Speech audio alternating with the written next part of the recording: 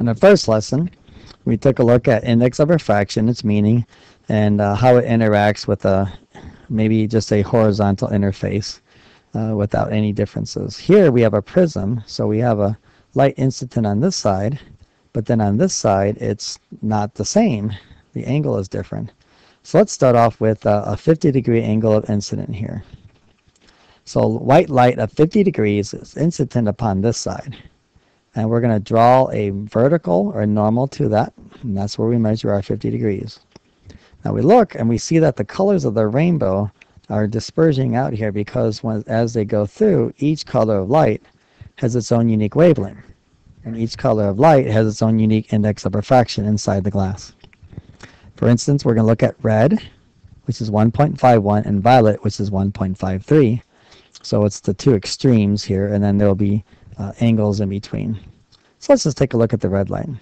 So we know by Snell's law, 1.00 times the sine of 50 is going to equal 1.51 times the sine of theta refracted. And I'll just use uh, theta sub r this time.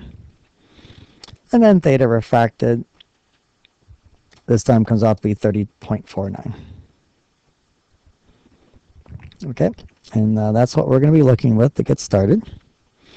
Okay, and we need to then figure out how that red light is incident upon this side, and then how it comes out the other side.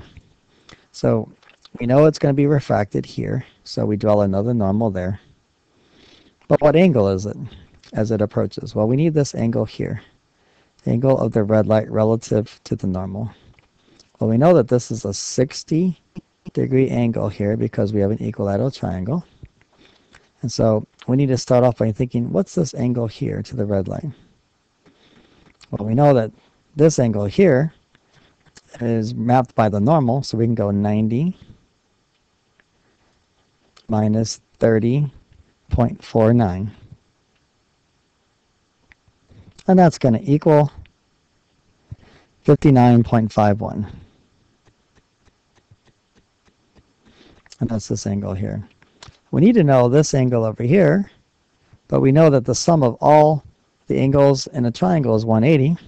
So if I go 180 minus 60 minus 59.51 equals 60.49 degrees. So that's going to be this angle here, and I'll try to map that nicely for you. Now we need the angle relative to the normal. So I'm going to take 90 minus 60.49, and that gives me 29.51 degrees.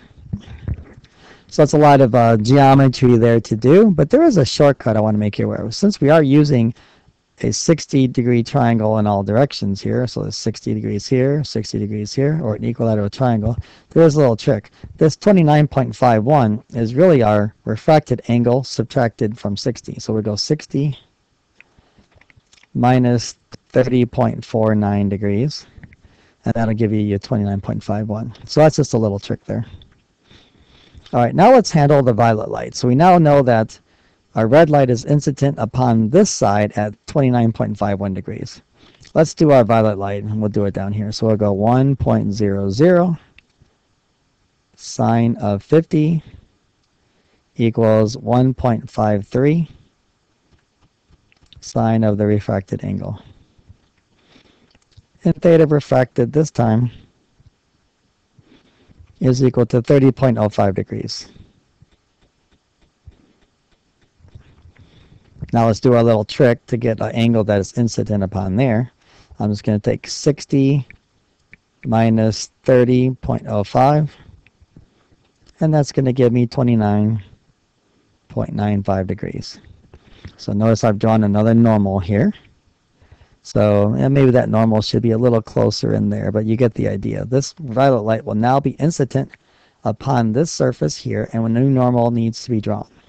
So these are the angles incident for both of these, the red light and the violet light on this side here. So what are their emerging angles? Okay, let me switch colors here so this doesn't get too confusing. Let's do the emerging angle, okay, for the red light. So I'm going to have 1.51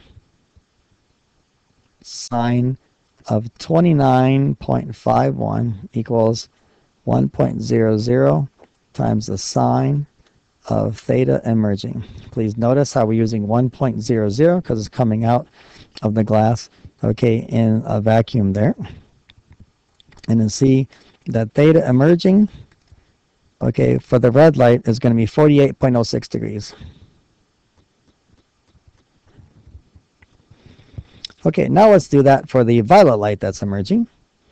So we've got 1.53 sine of 29.95 equals 1.00 times the sine of theta emerging. And now we see that theta emerging for that is 49.80 degrees. Okay, so we see that there's, you know, a little bit of difference in the angles. I've kept more significant digits there because uh, really in a prism we don't get this great of a separation there. But you get an idea on this surface here, the red light relative to its normal is coming out at 48.06 degrees. So that means relative to this normal here. Okay, and the blue light coming out, okay, relative to its normal is a, just a little bit bigger angle there. Okay, and uh, it's hard to see exactly where that's going to be. Okay, but it is uh, 49.80 degrees. And again, that's going to be relative to the normal to the surface there. Okay, and I guess I can try to draw that maybe like from here to there because I'm tracing the violet line. And that's how you handle the dispersion of uh, a violet all the way through red light, okay, on a prism.